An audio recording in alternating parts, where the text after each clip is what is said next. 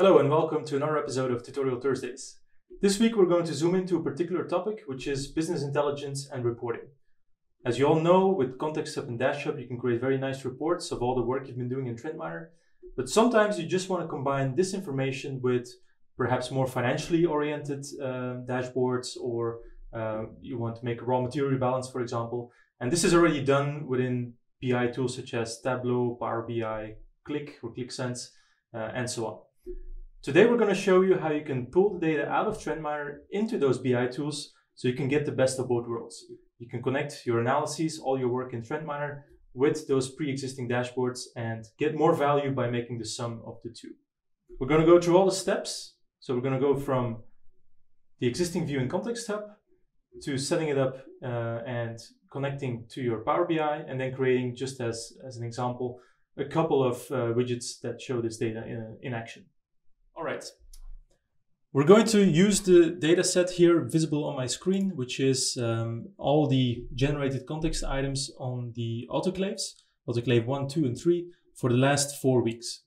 You notice that there are some successful cycles, the green uh, elements, some failed cycles, the red elements, and then interim time and some longer maintenance periods. This is the kind of information that will go very well with, for example, raw material information. With a particular vendor or with a particular um, lot of raw material, did I have more or less failed cycles, for example? This is the kind of information that you can zoom into by combining the two data sources. Now, to get this data into your BI tool of choice, I want to point you to one very important uh, piece of content, which is our developer portal. On this portal, you will find all information related to all of our APIs that are available. So TrendMiner is an open platform. We have APIs that you can consume, and we're going to use that one today to uh, load some data into, uh, into Power BI in this case. So I'm going to load context information. So I'll go into the context API. Um, and here you'll see all the re required information and all the required steps to do what we're trying to do. Obviously, after the first introduction, the first important part is to actually request your credentials. Without credentials, of course, through the security mechanisms in TrendMiner, you won't be able to have access to the data. So you have to have um, a level of authorization that allows you to, uh, to, to read the data that's, being, uh, that's going to be used. Today, we're not actually going to load those credentials. I have already prepared that for today. But if you need some help with this step, just reach out to TrendMiner. Uh, but as it is a very common step in any web application, I will skip it for now. All you have to do is have your accounts ready. And with those credentials, you'll be able to uh, generate the uh, access token that we'll need. Now, before I go into Power BI, I want to um, highlight the, uh, the search that we're going to do. So we're going to execute a particular search for context items based on a number of criteria. The first criterion we will use is the interval filter. So as I mentioned, we want to have the last four weeks worth of data. The second one will be the custom field uh, filter. In this case, we're going to use one of the fields, which is the line that this uh, context item is generated on. We will select three specific lines. Those are the one we those are the ones we are interested in, uh, and discard all others. So that's why we'll include this filter as well. If you are an admin in Context Hub, you can also look up all this information in the config page.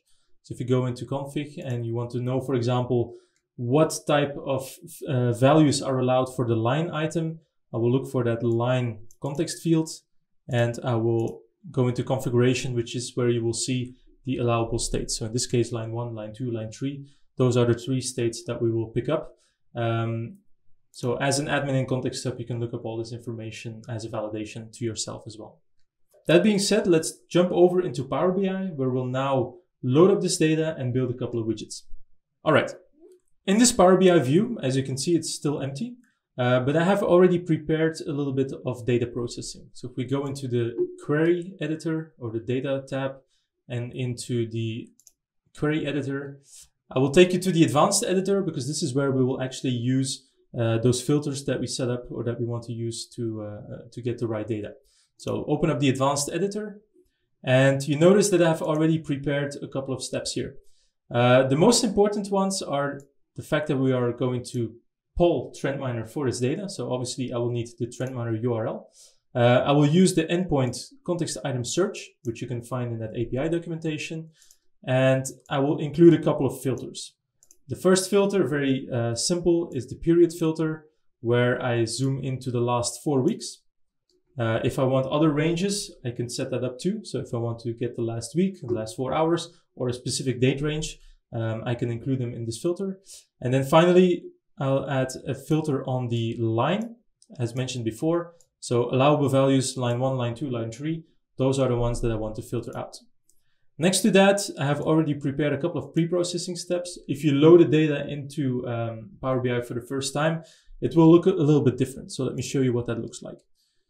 If I go back into one of my previous steps, the first time you load into uh, this data into TrendMiner, you will basically get a list of records. And every record in this list will be one particular context item. I can very easily convert this into a table that then works nicely um, with the expansion of columns. So I expanded that column. Now I already see many more details of my context item. And then finally, I can also expand, for example, the type, which also gives me information into what type each of those context items had as, uh, as additional information available to me. So I can do that with any column that would still be a list or an, a record in this, uh, in this table. As you can notice, I get quite a bit of information, quite a, quite a large amount of information. So I could include further filters to only select the columns that I really need for my uh, business intelligence report.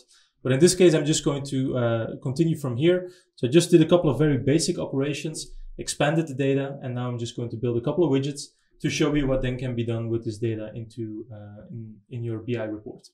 To do that, I will just exit out of this uh, query editor uh, and move back to the reporting tab on my Power BI um, uh, workflow instead of the dataset. And from here, I can add a couple of widgets um, that could be interesting to me. All right, in a couple of minutes, we build a simple report in this Power BI dashboard based on the data that we ingested from TrendMiner. So the, uh, the cycle successful and failed, as well as the maintenance items. Uh, and of course, now that this, uh, this view has been set up, I have access to all the typical BI type of filtering capabilities. So if I want to zoom into one particular line, I can see uh, specifically how the data corresponds to one another. So I can now see that, for example, for line one, the amount of successful cycles relative to the amount of failed cycles is lower. So that might be uh, where I uh, spend more resources in the future to make sure this line also performs up to par. That was just a simple example showing you the different steps to take to get data from TrendMiner and your analysis in TrendMiner into your reporting tool of choice, which can be whatever type of business intelligence um, uh, tool you're already using. With our open APIs, you're able to get to that data without any limitations and then build all of the reporting of your liking in the tool of your choice. Um, the resources I mentioned will be linked in the description below.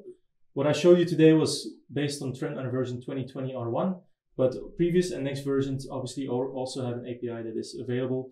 Um, if you have any questions, feel free to reach out to us and have fun.